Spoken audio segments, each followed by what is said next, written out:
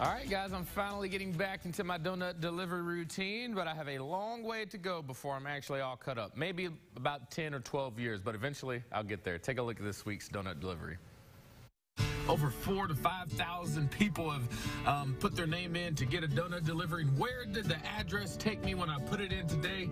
It literally took me less than 30 seconds down from my street. My neighbor, Danny, um, just wanted to welcome me to the neighborhood. Just moved into this neighborhood about a year ago. So let's go see if Danny's home.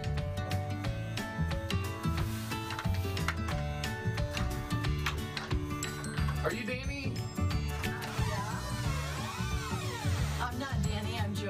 Wife. Danny sent me an email. He entered his name into a contest to have donuts and coffee delivered to his house. Oh, God. And, uh, Weight Watchers, right? Yes. so, and I live right down the street. Yeah, so he said, welcome to the neighborhood. So, yeah, that's me, just right over there. Do you guys want to come in? Or do you want Um, stay outside? What do you, what do you think? Yeah, we'll step inside. Yeah, let's just step right here. Hey, Oh, know Danny. I know this guy. Asking for some donuts. Oh, I just. and just. coffee.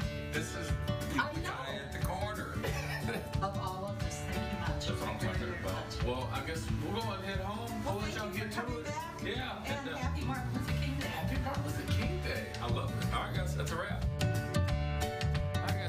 think about like me. Usually my routine goes, I get my Westrock, I get my donuts, I mm-hmm. put them in the passenger seat, you know, I get in my car, strap on the seatbelt, turn on the car, and I put in the GPS my address.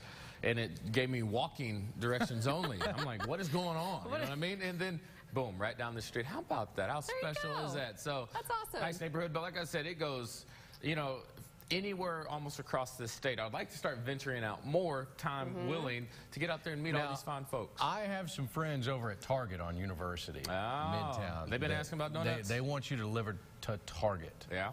What's uh, uh, lady's name there? Um, you know, I'm talking about the checkout line.